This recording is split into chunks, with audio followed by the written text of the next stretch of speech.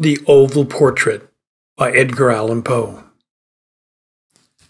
The chateau under which my valet had ventured to make forcible entrance, rather than permit me in my desperately wounded condition to pass the night in the open air, was one of those piles of commingled gloom and grandeur which have so long frowned upon the Apennines, not less in the fact than in the fancy of Mrs. Radcliffe.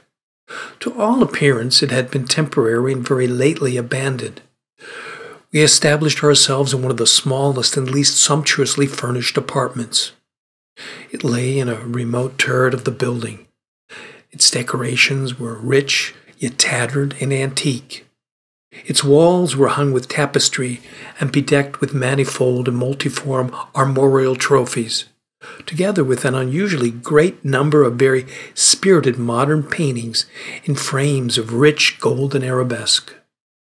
In these paintings, which depended from the walls not only in their main surfaces, but in very many nooks which the bizarre architecture of the chateau rendered necessary. In these paintings, my incipient delirium, perhaps, had caused me to take deep interest, so that I bade Pedro to close the heavy shutters of the room, since it was already night, to light the tongues of the tall candelabrum which stood by the head of my bed, and to throw open far and wide the fringed curtains of black velvet which enveloped the bed itself. I wished all this done that I might resign myself, if not to sleep, at least alternately to the contemplation of these pictures and the perusal of a small volume which had been found upon the pillow, and which purported to criticize and describe them. Long, long I read, and devoutly, devotedly I gazed. Rapidly and gloriously the hours flew by, and the deep midnight came. The position of the candelabrum displeased me, and outreaching my hand with difficulty rather than disturb my slumbering valet, I placed it so as to throw its rays more fully upon the book. But the action produced an effect altogether unanticipated. The rays of the numerous candles, for there were many, now fell within a niche of the room, which hitherto had been thrown into a deep shade by one of the bedposts. I thus saw in vivid light a picture all unnoticed before.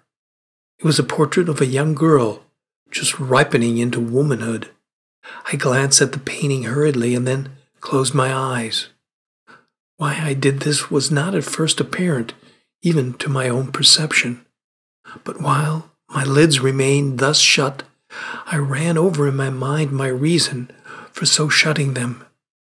It was an impulsive movement to gain time for thought, to make sure that my vision had not deceived me, to calm and subdue my fancy for a more sober, more certain gaze.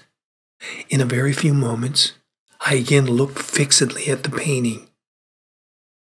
That I now saw aright, I could not and would not doubt, for the first flashing of the candles upon the canvas had seemed to dissipate the dreamy stupor which was stealing over my senses and to startle me at once into waking life. The portrait I've already said, was that of a young girl. It was a mere head and shoulders, done in what is technically termed a vignette manner, much in the style of the favorite heads of Sully.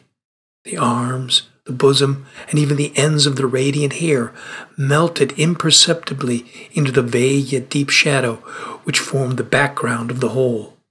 The frame was oval, richly gilded, and filigreed in Moresque. As a thing of art, nothing could be more admirable than the painting itself.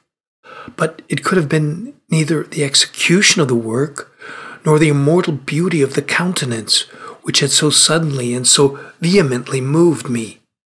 Least of all could have been that my fancy, shaken from its half slumber, had mistaken the head for that of a living person. I saw at once that the peculiarities of the design of the vignetting, and of the frame must have instantly dispelled such an idea, must have prevented even its momentary entertainment. Thinking earnestly upon these points, I remained for an hour, perhaps half sitting, half reclining, with my vision riveted upon the portrait. At length, satisfied with the true secret of its effect, I fell back within the bed. I had found the spell of the picture in an absolute life likeliness of expression, which, at first startling, finally confounded, subdued, and appalled me. With deep and reverent awe, I replaced the candelabrum in its former position, the cause of my deep agitation being thus shut from view. I sought eagerly the volume which discussed the paintings and their histories, turning to the number which designated the oval portrait. I there read the vague and quaint words which follow. She was a maiden of rarest beauty, and not more lovely than full of glee, and evil was the hour when she saw and loved and wedded the painter. He, passionate, studious, austere, and having already a bride in his art. She, a maiden of rarest beauty, and not more lovely than full of glee, all light and smiles, and frolicsome as the young fawn, loving and cherishing all things, hating only the art which was her rival, dreading only the palette and brushes and other untoward instruments which deprived her of the countenance of her lover. It was thus a terrible thing for this lady to hear the painter speak of his desire to portray even his young bride. But she was humble and obedient, and sat meekly for many weeks in the dark, high turret chamber, where the light dripped upon the pale canvas only from overhead. But he, the painter, took glory in his work, which went on from hour to hour and from day to day. And he was a passionate and wild and moody man who became lost in reveries, so that he would not see that the light which fell so ghastly in that lone turret withered the health and the spirits of his bride, who pined visibly to all but him. Yet she smiled on, and still on, uncomplainingly, because she saw the painter, who had a high renown, took a fervid and burning pleasure in his task, and wrought day and night to depict her who so loved him yet who grew daily more dispirited and weak. And in sooth, some who beheld the portrait spoke of its resemblance in low words, as of a mighty marvel, and a proof not less of the power of the painter than of his deep love for her, whom he depicted so surpassingly well. But at length, as the labor drew nearer to its conclusion, there were admitted none into the turret, for the painter had grown wild with the ardor of his work, and turned his eyes from the canvas merely, even to regard the countenance of his wife. And he would not see that the tints which he spread upon the canvas were drawn from the cheeks of her who sate beside him. And when many weeks had passed, and but little remained to do, save one brush upon the mouth, and one tint upon the eye, the spirit of the lady again flickered up as the flame within the socket of the lamp. And then the brush was given, and then the tint was placed. And for one moment the painter stood entranced before the work which he had wrought. But in the next, while yet he gazed, he grew tremulous and very pallid and aghast, and crying with a loud voice, This is indeed life itself, turned suddenly to regard his beloved. She was dead.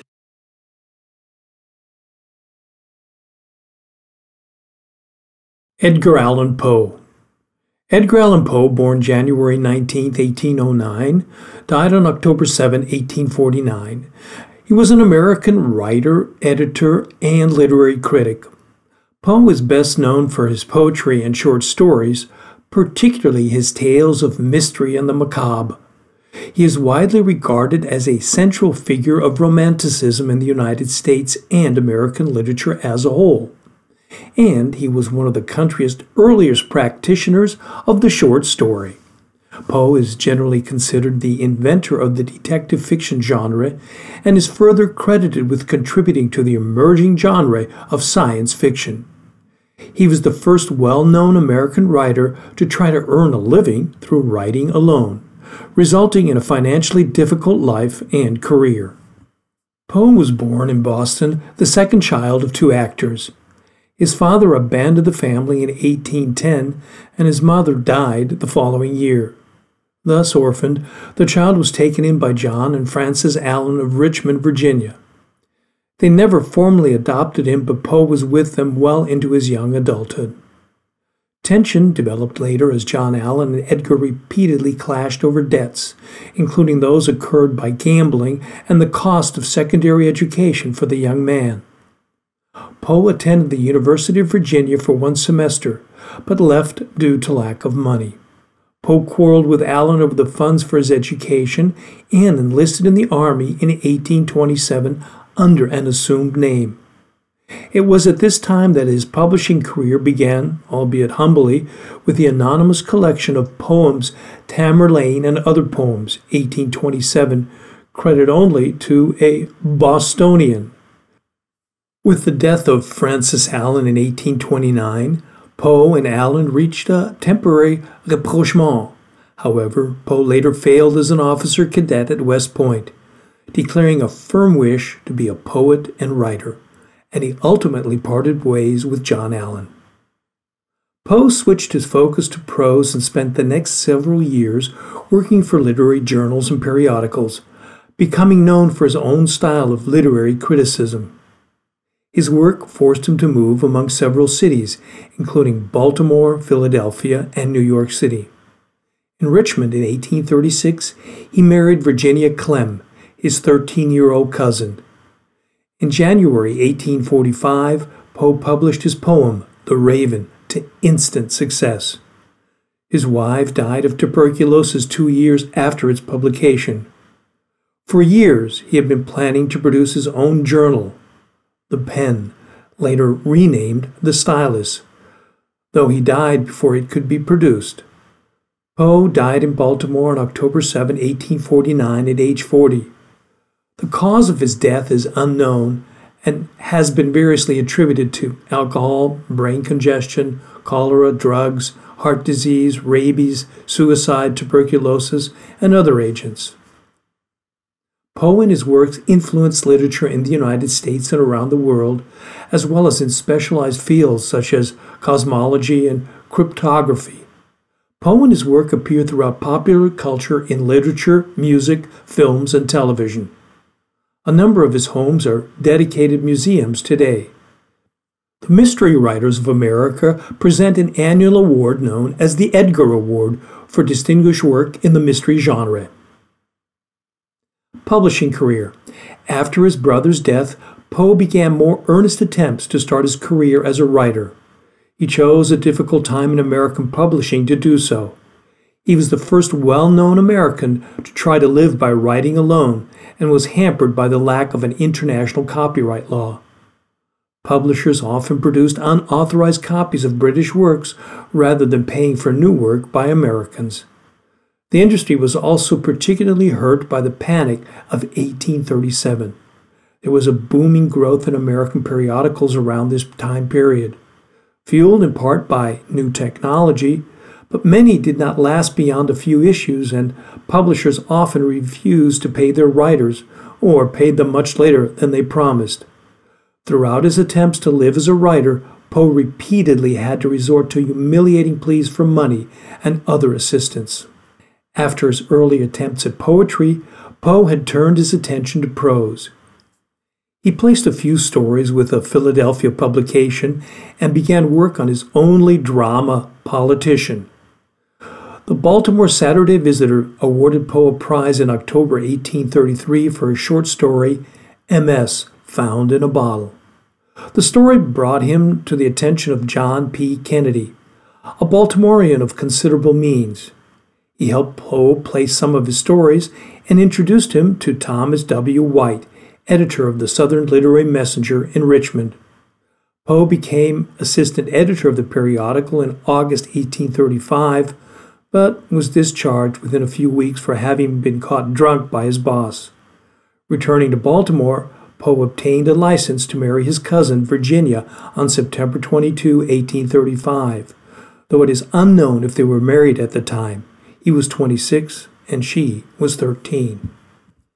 He was reinstated by White after promising good behavior and went back to Richmond with Virginia and her mother. He remained at the Messenger until January 1837. During this period, Poe claimed that its circulation increased from 700 to 3,500. He published several poems, book reviews, critiques, and stories in the paper. On May 16, 1836, he and Virginia Clemm held a Presbyterian wedding ceremony at their Richmond boarding house, with a witness falsely attesting Clemm's age as 21.